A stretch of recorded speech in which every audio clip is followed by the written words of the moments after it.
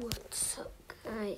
In today's video we're gonna be well I'm gonna be showing y'all how to put screen recorder on y'all's phones if y'all don't have it yet.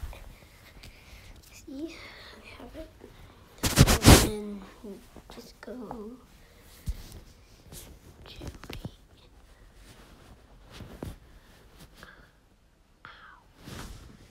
So you go to your settings and you press Control Center, customize, and mine is my screen recorder is right there. But down here, if you want to have it, you just press the plus sign by it, and when you put your settings, it'll have it. So that's how you get it. Bye. Peace. Like and subscribe.